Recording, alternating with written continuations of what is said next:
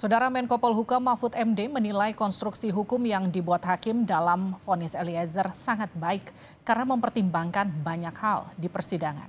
Mahfud berharap hakim-hakim muda bisa bersikap seperti hakim PN Jakarta Selatan tersebut. Berikut cuplikan pernyataan Mahfud MD di program Satu Meja Kompas TV.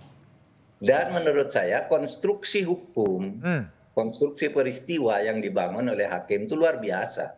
Semua dipertimbangkan yang muncul dalam sidang segi-segi segi psikologisnya, sosialnya, politisnya muncul semua di situ dari berbagai kontroversi lalu dia bisa mereka bisa mengambil kesimpulan dengan begitu berani dan kompak okay. gitu ya dengan penuh keyakinan. Nah, bagi saya surprise sehingga saya langsung bertepuk tangan pada Oke, okay. tepuk tangan itu bukan sesuatu yang patut dirayakan gitu. Ada hakim yang kemudian bisa mandiri, bisa independen gitu?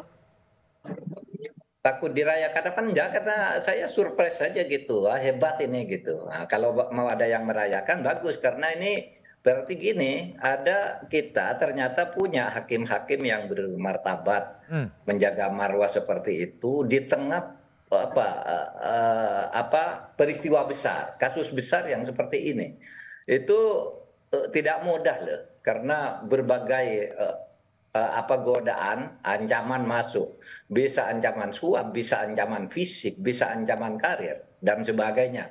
Dalam kasus-kasus seperti ini biasa terjadi hal seperti itu.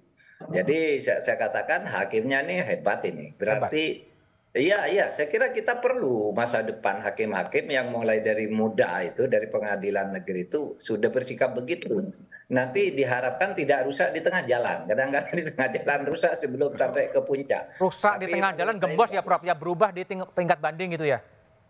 Ya, ya, ya karir hakimnya juga, perilaku hakimnya juga bisa aja bagus.